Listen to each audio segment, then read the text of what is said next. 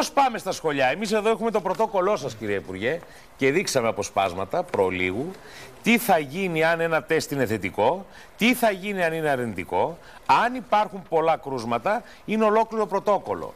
Το ερώτημα... Πρωτόκολλο των ειδικών, να διευκρινίσουμε. Βεβαίως. Είναι το πρωτόκολλο του ΕΟΔΗ, του Εθνικού Οργανισμού Δημόσιας Υγείας, τι θα γίνει σε περίπτωση συμπτωμάτων, κρούσματος και του καθεξής. Έχουμε ουσιαστικά καραντίνα μόνο του τμήματος, έτσι δεν είναι, που είναι το κάθε ναι. παιδί. Δεν είναι ολόκληρη σχολική μονάδα. Ακριβώς και πάντοτε στη διαδικασία της συχνηλάτησης αντιμετωπίζεται το κάθε περιστατικό ξεχωριστά, ενημερώνεται αμέσως ο Εθνικός Οργανισμός Δημόσιας Υγείας και αυτοί δίνουν τις κατευθύνσεις.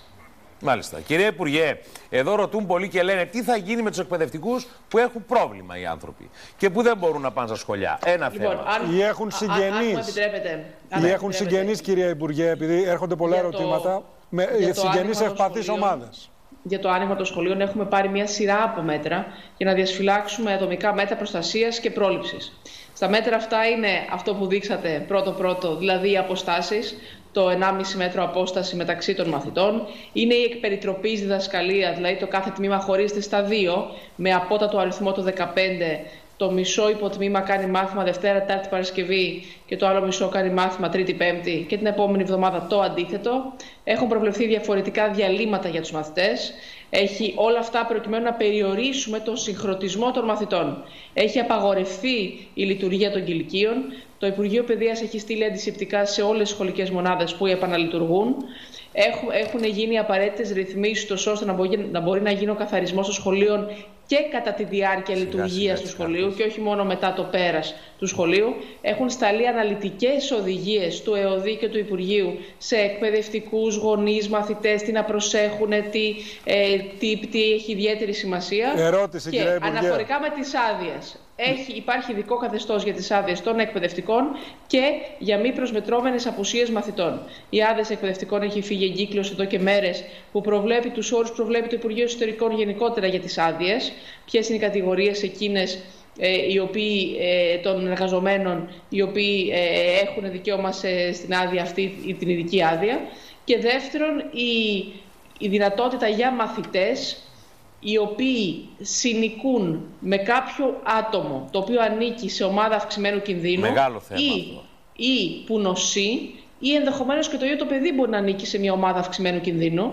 Άρα, σε όλες αυτές τις περιπτώσεις, με μια απλή δήλωση του γονέα του κηδεμόνα, δεν προσμετρώνται οι απουσίες. Μπορεί το παιδί να απουσιάζει κανονικά από το σχολείο. Και χτες, όπως ξέρετε, ψηφίστηκε και μία ρύθμιση βάσει της οποίας, αυτό που είχαμε αναγγείλει, βάσει της οποίας τα παιδιά αυτά δεν μένουν πίσω. Υπάρχει δυνατότητα δηλαδή για αυτά τα παιδιά να συνδέονται ψηφιακά με την φυσική τους τάξη για να μην αποκόπτονται από την εκπαιδευτική Θα μεταδίδεται το μάθημα. Υπάρχει σκληρή κριτική γι' αυτό όμως, κύριε Υπουργέ, πρέπει υπάρχει δυνατότητα, υπάρχει δυνατότητα προκειμένου ακριβώς να μην μένουν τα παιδιά αυτά πίσω. Είναι μόνο για καιρούς επιδημικής νόσου, μόνο σε περίπτωση δηλαδή πανδημίας προβλέπεται αυτή η δυνατότητα, για την ταυτόχρονη διδασκαλία και μέσα στη φυσική τάξη και μέσω μέσων τεχνολογίας και γίνεται μόνο για την περίπτωση αυτή προκειμένου ακριβώς να μην μένουν τα παιδιά αυτά πίσω. Η αρχή προστασίας προσωπικών δεδομένων έχει ενημερωθεί, έχετε έρθει σε διαβούλευση Βεβαίως. με την αρχή; Βεβαίως, αυτή η διάταξη έγινε, έγινε μετά από διαβούλευση με την Αρχή Προστασίας Δεδομένων Προσωπικού Χαρακτήρα και πρέπει να σας πω ότι η διάταξη περιέχει περισσότερες ρυθμίσεις από αυτές που επιτάσσει το ενωσιακό δίκαιο και το ελληνικό δίκαιο. Κύριε Υπουργέ, θέλω να σας ρωτήσω κάτι όχι για τα σχολεία που ανοίγουν τη Δευτέρα, την Τρίτη Λυκείου δηλαδή, αλλά για αυτό που θα συμβεί την επόμενη εβδομάδα και αφορά πολύ Μάλιστα. περισσότερα παιδιά. Εγώ προσωπικά έχω παιδί στην πρώτη γυμνασίου δημόσιου σχολείου και βλέπω ένα προβληματισμό γονιών πολλών. Για ποιο λόγο να στείλω το παιδί σχολείο, για 10 μέρες μάθημα μιλάμε ουσιαστικά, προαγωγικές εξετάσεις δεν πρόκειται να γίνουν. Τι θα χάσει το παιδί αν δεν πάει, και υπάρχει και μια δυνατότητα από ό,τι αντιλαμβάνομαι με βάση τις δηλώσεις που θα γίνονται από τους γονείς ε, να μην μείνει και από απουσίες. Το δικό σας επιχείρημα απέναντι σε αυτό τον προβληματισμό ποιο είναι; Λοιπόν, ε, πρώτα απ' όλα να απαντήσω στο εξής. Είπατε 10 μέρες μάθημα. Θέλω να σας πω ενδεικτικά ε, ότι, ας πούμε, τώρα που ξεκινάει η τρίτη ηλικίου, να σας πω ενδεικτικά γι' αυτό, οι ομάδες προσανατολισμού στην τρίτη ηλικίου είναι κατά 66% στα γενικά λύκεια κάτω των 15 ατόμων. Άρα θα κάνουν κάθε μέρα μάθημα γιατί είναι κάτω των 15 και στα επαγγελματικά λύκεια είναι 74% κάτω των 15. Άρα κάθε μέρα μάθημα. Ναι. Επίσης η διαδικασία, ακόμα και όταν το, η ομάδα μαθητών είναι πολύ πιο μικρή, καταλαβαίνετε είναι πολύ πιο έντονη. Άρα καλύπτεις περισσότερο έδαφος. Πηγαίνεις πιο γρήγορα. Ναι. Εγώ, εγώ τώρα σας ρώτησα Όχι, λέω γενικά. Ναι. Λέω γενικά, όταν η ομάδα των μαθητών είναι μέχρι 15, καταλαβαίνετε ότι η διαδικασία είναι διαφορετική από όταν έχεις 25, 26, 27 παιδιά ε, ναι, Είναι πολύ πιο γρήγορη η διαδικασία, πολύ πιο έντονη. Η πλειοψηφία όμως. Θα σας πω όμως το εξής, επειδή μου κάνατε ένα συγκεκριμένο ερώτημα. Κοιτάξτε, είχαμε μια επιλογή να μην κάνουμε τίποτα. Να αφήσουμε όλα τα παιδιά έξι μήνες συνεχόμενους, δηλαδή μισό χρόνο, εκτός σχολείου. Όλα τα σχολεία κλειστά. Σας διαβεβαιώ θα ήταν η πιο εύκολη απόφαση για μας. Η πιο εύκολη στην υλοποίηση. Στην υλοποίηση. ας πούμε, ναι.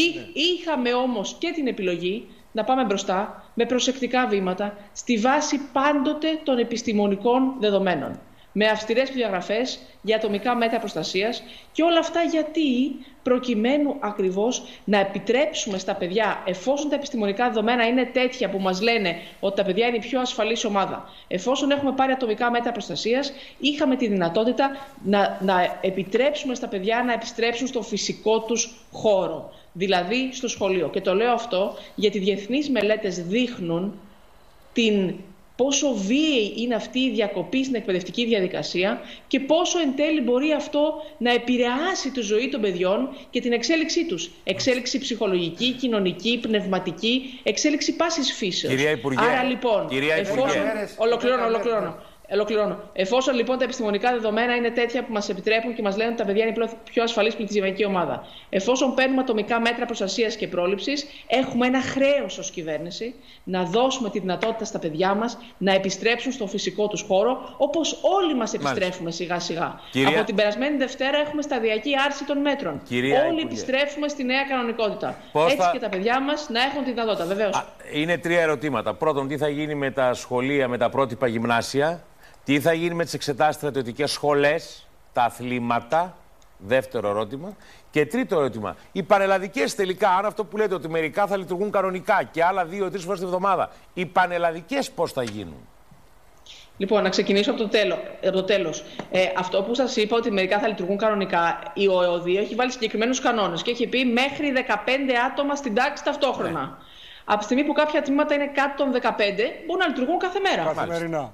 Κάποια ναι, άλλα είναι σαφές. Και, και, και αυτό που είπα απλά ότι στην τρίτη ηλικίου τα περισσότερα τμήματα είναι κάτω των 15. Αυτό διευκρίνησα. Μάλιστα. Άρα κάθε μέρα μάθημα. Πανελλαδικές. Για τις πανελλαδικές έχουμε πει ότι θα ξεκινάνε 15 Ιουνίου για τα ΓΕΛ, 16 Ιουνίου για τα ΕΠΑΛ. Επιμέρους πτυχές του τρόπου διεξαγωγής των πανελλαδικών θα οριστούν από την Εθνική Επιτροπή Δημόσιας Υγείας. Εμείς έχουμε όλα τα σενάρια έτοιμα. Περιμένουμε τις τελικές κατευθύνσεις των ειδικών και θα ανακοινωθούν, θα βγει μια υπουργική απόφαση εν ευθέτω χρόνο με βάση και τα τελευταία επιστημονικά δεδομένα η οποία θα ορίζει ακριβώς όλες τις πτυχές της διεξαγωγής των πανελλαδικών εξετάσεων. Ε, για τα πρότυπα δεν ξέρω τι με ρωτάτε για τις εισαγωγικές εξετάσεις. Για τα πρότυπα έστειλε εδώ μια κυρία ε, μισό λεπτό να το βρούμε τώρα. Ναι. Θα γίνουν εξετάσεις για τα πρότυπα γυμνάσια και πότε; Ναι, βεβαίως. Θα ακολουθήσουν, θα ακολουθήσουν οδηγίες που θα εκδοθούν σχετικά με τη διενέργεια των εξετάσεων των εισαγωγικών στην ε, πρώτη γυμνασίου. Θα βγουν αναλυτικές οδηγίες για τα, για τα πρότυπα. Τα δημοτικά θα ανοίξουν; Κοιτάξτε, ε, αυτή τη στιγμή, όπως ξέρετε, υπάρχει αναστολή λειτουργίας των δημοτικών και των νηπιαγωγείων. Θα περιμένουμε τα δεδομένα των ειδικών, θα συμβουλευτούμε τους ειδικούς και η απόφαση θα πάρθει προς το τέλος του μήνα. Στα διαλύματα τα παιδιά θα μπορούν να έχουν επαφή μεταξύ τους, τα τμήματα, κάθε τμήμα με το άλλο τμήμα; Υπάρχουν συγκεκριμένες οδηγίες του ΕΟΔΗ, βγαίνουν διαφορετικές ώρες διαλύματα. Δεν ναι. βγαίνει όλο το σχολείο μαζί ταυτόχρονα. σε βγαίνουν, σε, βγαίνουν σε ζώνες για να περιορίσουμε ακριβώς τον συγχρονισμό των παιδιών. Άρα άλλες ζώνες. Και στο διάλειμμα. Μάλιστα. Κυρία Υπουργέ, μία σύντομη απάντηση. Κατηγορούν ότι ουσιαστικά ανοίγονται για 10 μέρες στα σχολεία όσον αφορά στα Λύκεια και στα γυμνάσια, Δευτέρα, πρώτη Λυκείου και γυμνάσια, για να κάνετε μια πρόβα με ό,τι θα γίνει το Σεπτέμβριο, με τη λειτουργία του σχολείου το Σεπτέμβριο. Ισχύει ότι θα είναι μια πρόβα για ό,τι θα συμβεί από το Σεπτέμβριο; Όχι, είναι στο πλαίσιο της σταδιακής άρσης των μέτρων.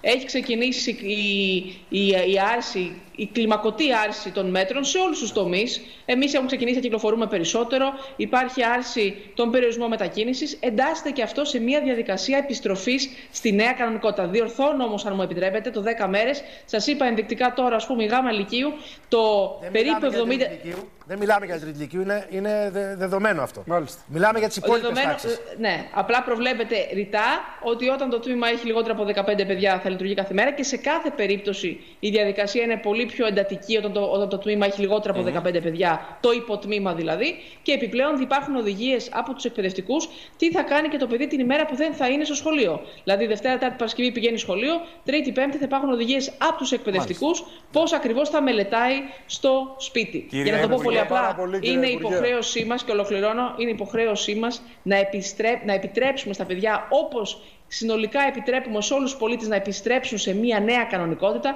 να επιτρέψουμε και στα παιδιά την πιο ασφαλή πληθυσμιακή ομάδα να επιστρέψουν σταδιακά, βήμα-βήμα, προσεκτικά στη νέα κανονικότητα. Κυρία Υπουργέ, ευχαριστούμε θερμά που ήσασταν μαζί μας. Καλή αρχή. Έτσι. Καλή σας ημέρα.